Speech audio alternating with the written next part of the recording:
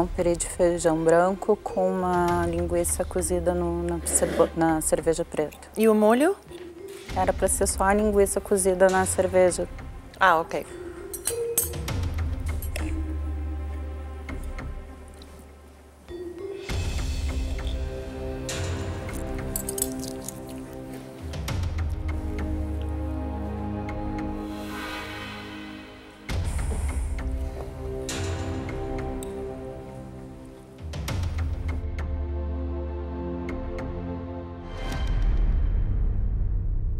Eu acho que em linhas gerais, pelo menos aqui vocês trabalharam um pouco melhor do que com a banana. Mesmo assim, são pratos medrosos, são pratos de cozinheiras que cozinharam com um pouco de pânico. São pratos onde, de novo, o feijão ele está embaixo de alguma coisa. A tua carne está tão cozida e dura e seca. Uma fraldinha marmorizada, não sei se é uma carne para fazer de panela em 20 minutos. Então era para você grelhar, muito mais interessante. Tutu, o que eu peguei estava muito apimentado, mas é um tutu. Eu gosto de tutu. Talvez só o tutu e uma farofa do lado. Caldinho de feijão, cassoulet, salada de feijão fresco. Era o feijão que tinha que brilhar. Cadê a beleza do produto? Não tem beleza o prato, não tem o ponto suficiente da carne. Você experimentou aí, né? Experimentei já. Você achou? É, é, não é aquela coisa que dá tesão de comer. Comida tem que trazer isso, a vontade, meu, de comer e querer mais, raspar o prato.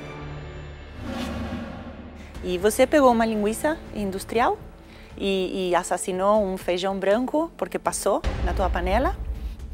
Pode ser um pouquinho mais original, porque tem feijão branco com essa linguiça com cerveja.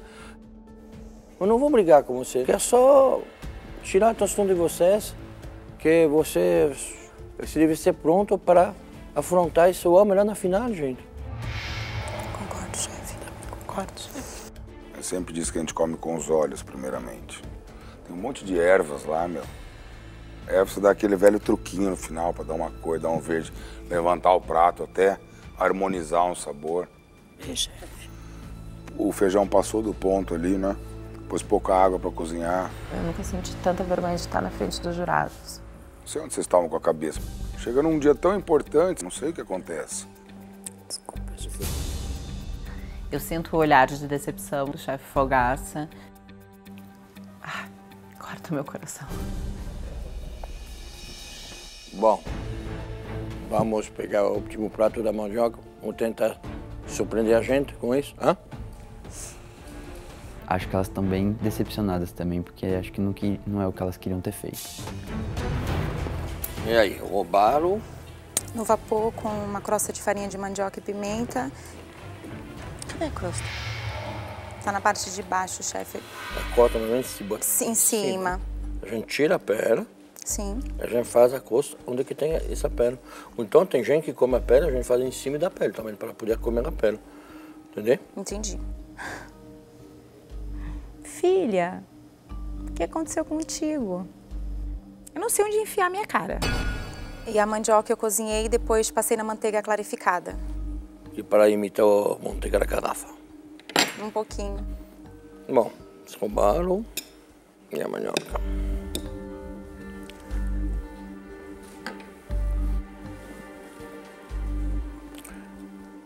Se você não fala, não fiz. Concordo, chefe.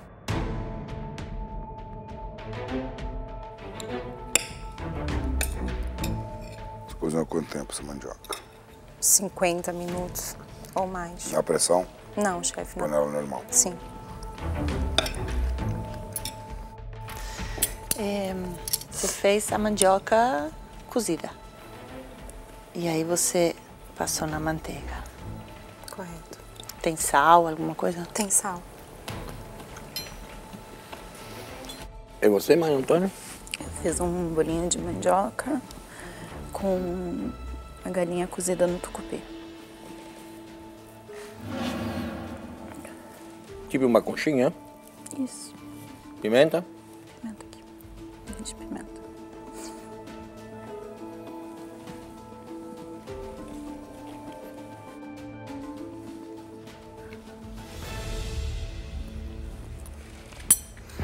Maria, bolinho de mandioca com uma galinha. Frango no com tucupi. frango no tucupi. Tucupi. tupuqui.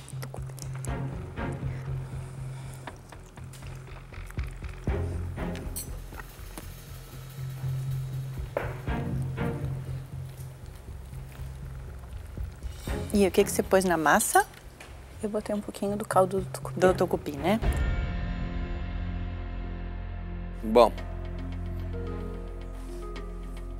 mandioca é, é a simplicidade é, é pura do lado de um robalo, que seria mais gastronômico, mais cozinha, mas não é negócio hoje, a mandioca. E a mandioca ela é um pouco seca, podia ser cozinhar muito mais. Então a gente usa esse tipo de mandioca que a gente faz, tenho um prato, a gente pega a água da mandioca, mesmo junto com a mandioca, a gente bota um pouquinho em cima, deve derreter com um garfo, né? bota mais gordura, mais manteiga até, para ser mais caseiro, se eu posso falar.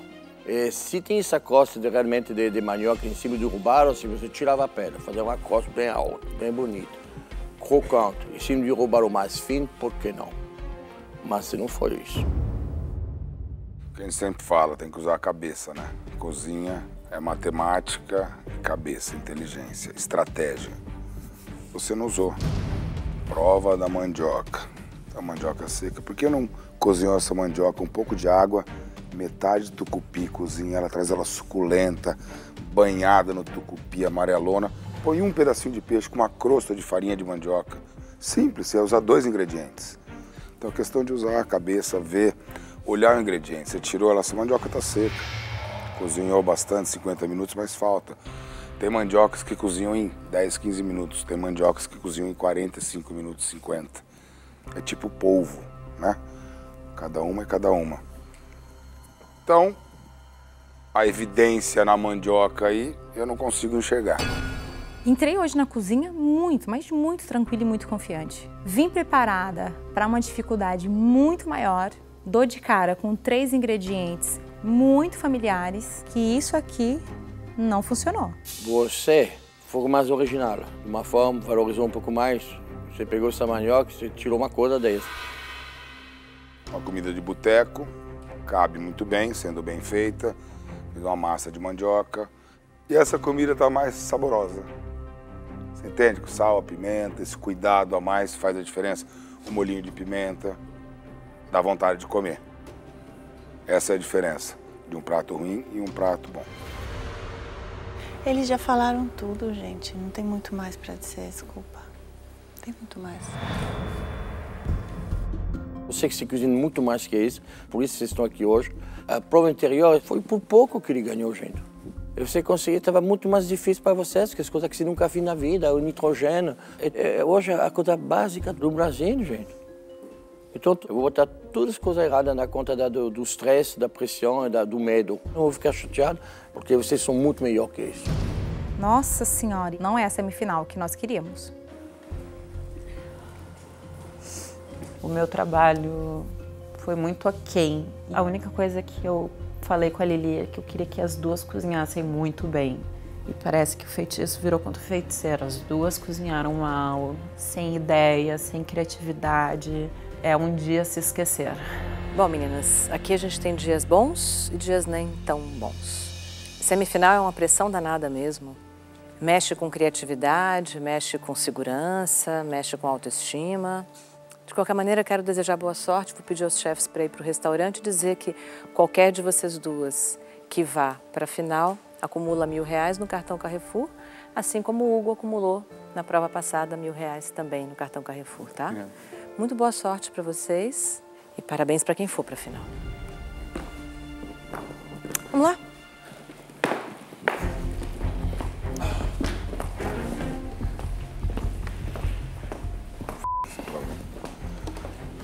As críticas realmente foram as críticas que tinham que ser feitas.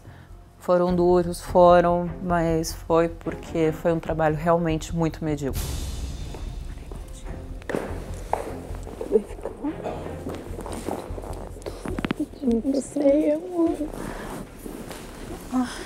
envergonhada porque a gente, a gente vai ter que fazer muito favor. vontade de sentar e pedir desculpa. Fica não. Foi um dia que vai passar. Olha só. Nossa. Bom, seguinte, que uma semifinal eu fiquei decepcionado com os pratos. Muita pressão. Falta sabor, falta apresentação, falta textura, falta Mas elas estão muito harmonização. tristes, você viu como elas estão tristes? Ficaram assustadas, será? Uhum. Não sei. Pode ser que uma prova mais sofisticada, mais fácil para ele. É difícil valorizar um feijão, mandioca, banana. É, é, pode ser que a gente for Mas um pouquinho exigente. Sabe, você tem razão nisso que você acabou de falar. Porque é semifinal. Se fosse uma prova uns meses atrás, É. eu acho que elas iam fazer um trabalho lindo. Uhum. Na tentativa de fazer esse Algo. feijão, essa mandioca, essa banana brilharem tanto no nível de uma semifinal Masterchef, Uhum. se atrapalharam. Lógico. Mas para mim tem uma das pensamento. cozinheiras que tem um cardápio com um pouco mais de Foi mais coerente. tem-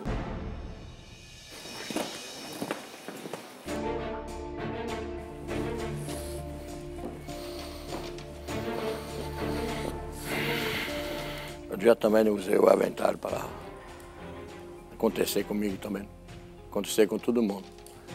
Eliana, Maria Antônia, primeira coisa, parabéns para chegar no semifinal. Parabéns para o seu percurso que fez aqui no Masterchef conosco. Parabéns para a sua alegria, seu sorriso. Tudo que acontecer aqui no Masterchef. Obrigado por isso. É, não é fácil, né? Eu imagino que você esperava uma prova muito mais difícil, né? uma exigência diferente, que é a simplicidade que a gente pediu para vocês, surpreender vocês. E deixou vocês com muito medo. Eu acho que você trabalhou com muito medo, com muito estresse. A gente não pode falar que foi extraordinário. Queria começar pedindo desculpa por hoje. Eu acho que a gente estava muito emocionadas de cozinhar juntas, de estar numa semifinal. E a gente não cozinhou bonito, a gente prometeu que a gente ia cozinhar bonito, então eu começo pedindo muitas desculpas.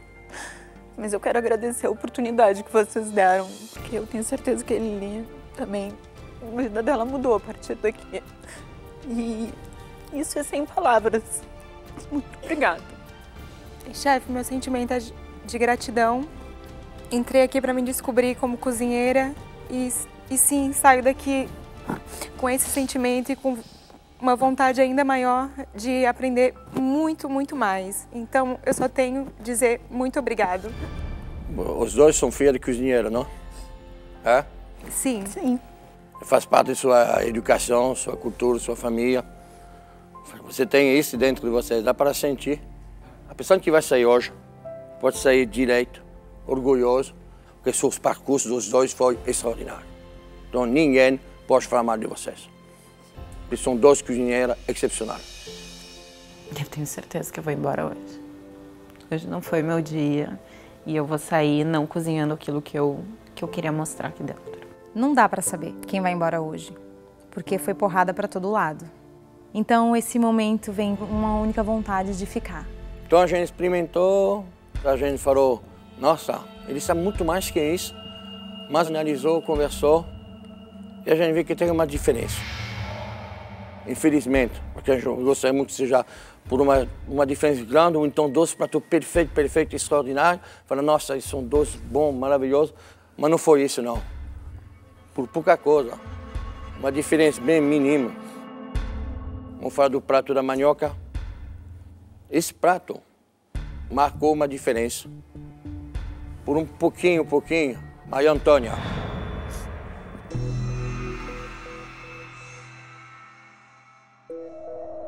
Você vai acompanhar a Eliana na saída e você vai na final com o Hugo.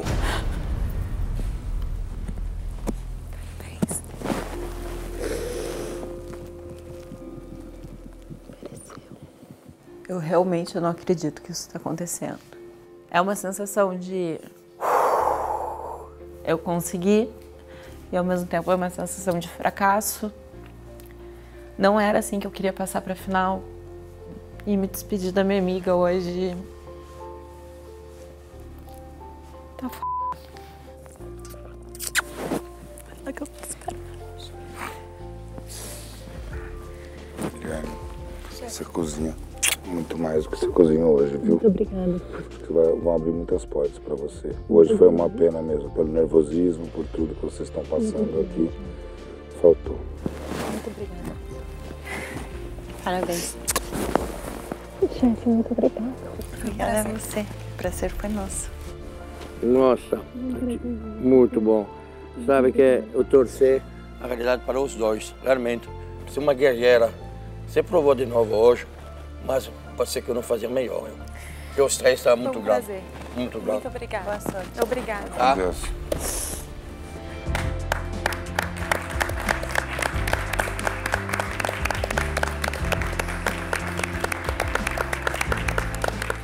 Deixo o avental com orgulho, com a única certeza.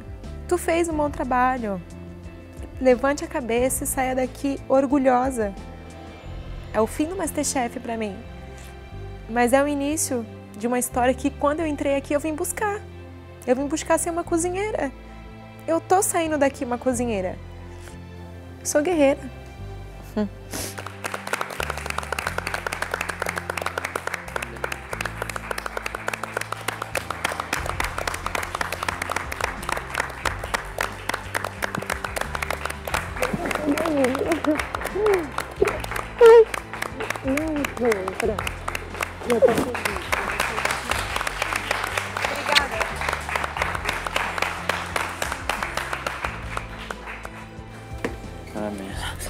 Força aí.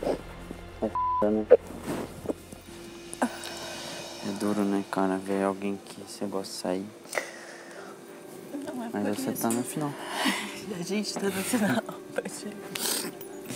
Parabéns. E aí, terceira melhor cozinheira amadora do Brasil. O que, que foi? Eu acho que eu senti muito mais a pressão nessas últimas duas provas, ansiedade de realmente voltar para casa e dizer para a família, olha, eu consegui. Então isso mexeu bastante comigo e me atrapalhou. Mas não me arrependo de nada que eu fiz e decisão nenhuma que eu tomei. Eu saio daqui muito mais forte do que eu entrei. Você fez muitos amigos, eu vi. Fez inimigos também? Não sei dizer se eu fiz inimigos, posso não ter agradado a todos, mas nunca foi a minha intenção agradar a todos. É, no início dessa temporada, você entrou num atrito direto com o Dalvi, muita gente viu você como uma pessoa malvada, capaz de fazer coisas em nome do jogo. Como é que você conseguiu passar por isso? As pessoas confundem personalidade e ser guerreira com arrogância ou soberba. São coisas diferentes. Eu sabia que era o momento em que eu tinha que mostrar uma força ainda maior, porque eu tinha um longo caminho a percorrer aqui dentro. E fez isso, né? E fiz isso, porque eu sou uma mulher forte. Quem vai ganhar o Masterchef, Maria Antônia ou o Hugo? Eu tô torcendo muito pra Maria Antônia. Espero que ela não se deixe abalar, porque vem uma prova aí muito, muito mais difícil do que a que passamos hoje. O Hugo é melhor? O Hugo vem num crescente muito grande dentro do programa. Se descobriu, foi uma surpresa para todos nós. Então, obviamente, é um grande concorrente. Muito boa sorte. Foi um prazer ter você aqui. O Viu? prazer foi todo meu. Obrigada. Olha essa cozinha. Acho que é a última vez que a gente vai ver ela assim. Tinha 21 aqui. Na próxima vai ter duas. Mãe, eu tô na final. Eu quero provar que eu que eu sei cozinhar, que eu posso mais do que eu fiz hoje. Eu tô seguro, eu nunca subestimo meus oponentes. O segredo não é se preocupar com o adversário, né? É focar, estudar bastante para ir bem preparado para a final. No próximo programa, Hugo e Maria Antônia, frente a frente na grande final. Hoje a chapa vai esquentar. Última vez que eu tô cozinhando aqui, hoje a prova vai ser do c... Eles precisam criar um menu completo e marcante para mostrar quem são na cozinha. Esse vai ser um prato que eu acho que tem cara de Maria Antônia. Esse menu vale 200 pau. 200 Será o último e o mais difícil duelo da temporada. Cuida do pau, Maria. Gente, quem me esqueceu a torrada? Solta a pressão. Põe na pia, põe na água. Não, vai esfriar, vai esfriar. Quem vai levar o troféu? Eu, Eu, chefe. chefe. Mas também o mais emocionante. Nossa, Maria tá tremendo. Ai, ai, ai, que final! O melhor cardápio até agora de todas as temporadas de Amadores, sem dúvidas. os dois surpreender a gente. Dois cozinheiros amadores lutando por um único objetivo: tornar-se o próximo Masterchef Brasil.